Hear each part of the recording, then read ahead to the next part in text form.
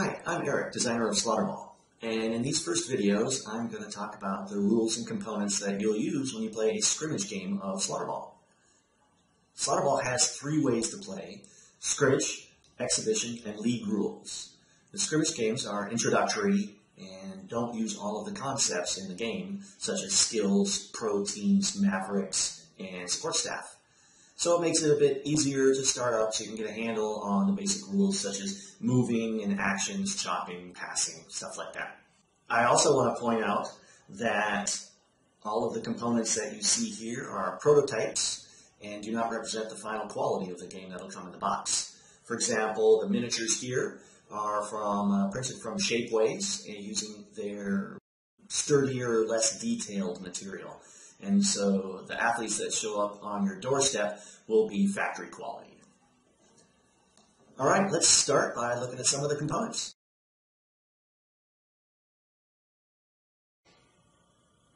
All right, here you can see the Slaughterball game board. It's going to be a double-sided board.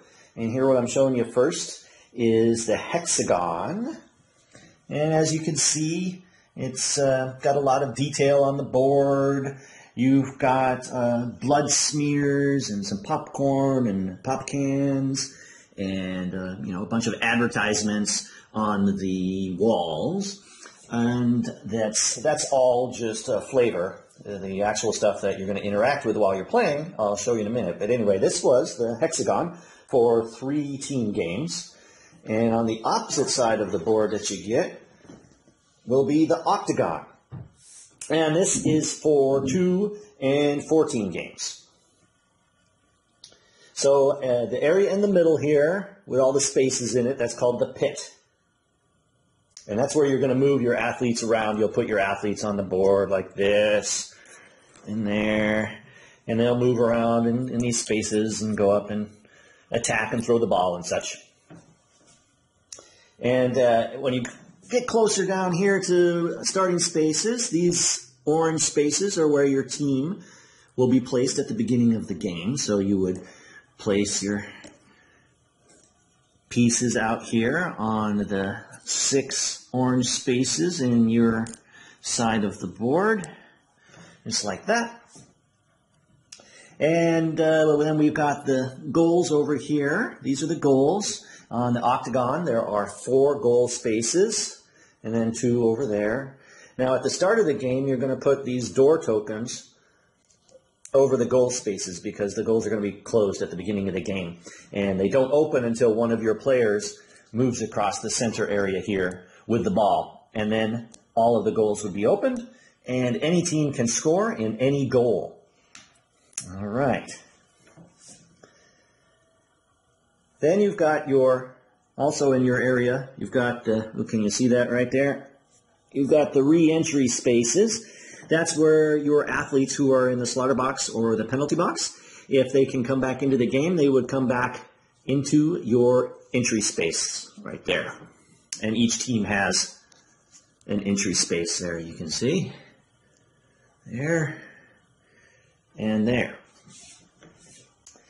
And uh, then these right here, these spaces marked with the numbers, there are eight of them on the octagon. Those are the launchers. That's where the ball comes out at the beginning of the game. It'll come out from a random launcher and scatter from there. Also, after each goal, it will scatter from uh, a launcher on the other side of the board. So, if you were to score in this goal, then the ball would relaunch immediately from one of these three launchers on the other side of the pit. In the center of the pit, you have these darker spaces, and that is called the meat grinder. It's composed of basically uh, sharp, pointy steel tenderizers, and you take more damage there when you get hit, or you fall down, or you get chopped. And but in order to open the goal, someone has to run into there with the ball to open the goal. So it's more dangerous to be in there. So you generally want to avoid it after you have opened the goals.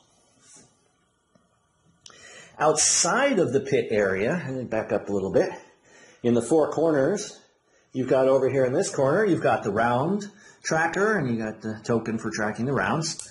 And there's uh, six rounds. There's the launch off, then six rounds, and then you might have some overtime. if you have a tie score.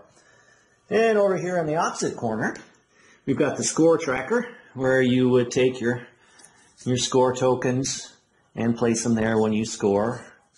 And it goes up to 30. If your score goes above 30, you flip your token over and it says plus 30 on it. And then here in this corner, you have the slaughter box. That's where your injured players go. And if somebody gets injured, you just put them in there. And there's a card in the deck called uh, No Time to Bleed. And you can use that to get a player back into the game in a scrimmage game. For a exhibition and league rules, you can have uh, support staff physicians as well as some edge tokens that can help you heal. And in the opposite side over here, you've got the penalty box. You know, you, one of your athletes fouls and somebody plays a penalty card on them, that's where they go. They would put over there.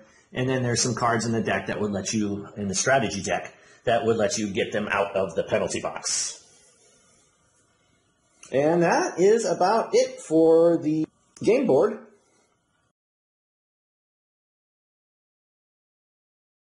All right, here you can see the plastic athletes that you'll use when playing a scrimmage game.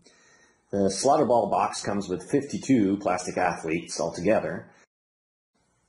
But in a scrimmage game, each team is going to use only these six athletes. Now each team gets a butcher, two slashers, two cleavers, and a razor. And so the razor, have, these guys have the round bases and those are the fast, quick, agile, best shooters, best catchers, and generally the highest scorers in the game. They're, they're pretty much the stars for throwing and shooting goals. They are the most fragile, however, and you should keep them away from conflict because they can get sent to the slaughter box pretty easily. Next up, we have the cleavers, kind of a step towards being tougher. These guys have pentagonal bases they are a little bit tougher than the Razors, but not as good shots or as fast. They are kind of the mid-range scorers for the game in a scrimmage game. After the cleavers, we've got the slashers. The slashers have hexagonal bases, and uh, they're they're tough guys. They they like to go up and hit people, and they can take the damage. Uh, they're not as good at scoring though. Finally, what we've got here is the butchers. The butchers come with square bases, and these guys are monsters on the field. I mean, they're basically just a big mountain of hurt, and they go around and hitting people and clobbering people, and, and uh, they can cause a lot of damage. They're pretty poor at handling the ball, and they're not very fast. And that's about it for the uh, plastic pieces in a scrimmage game. Here we have the rest of the components that you'll use in a scrimmage game. There are some other components that I'm not showing you here that you'll use in an exhibition and league game, and I'll get to those later, because in these videos, first videos, I'm just going to talk about scrimmage games. So you've got the door tokens for the goals, you've got some onslaught tokens, scoring tokens, the round tracker token. This right here lets you keep track of who is the first coach throughout the game. And this right here is the relaunch template for when you score a goal. The ball scatters out the other side of the board, and this is what you use to figure out which launcher it comes out of. Then you've got your 20 dice over here, and also your strategy card deck. 70 cards here that you can use throughout the game. All sorts of interesting cards.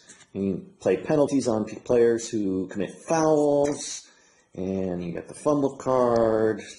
And burst of speed lets you go a little bit faster. All manner of cards here that you can play throughout the game, and you're going to be drawing from this throughout the game. And that covers all of the components for a scrimmage game. Next up, I'll let you know how the rules work.